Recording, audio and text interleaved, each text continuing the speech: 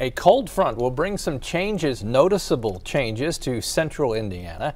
Isolated thunderstorms possible ahead of the cold front tonight. Definitely drier air flowing in behind that for tomorrow and the weekend. Temperatures in the morning still warm, upper 60s, already mid 70s by 10 a.m., but the humidity dropping throughout the day, and that wind will be helpful out of the north northwest. Notice the humidity level stays low through Sunday, but then jumps right back up as we get to Monday and Tuesday.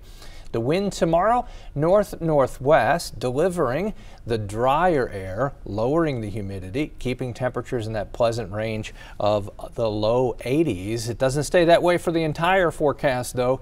83 Saturday, 85 Sunday. Temperatures next week back into the low 90s Wednesday and Thursday.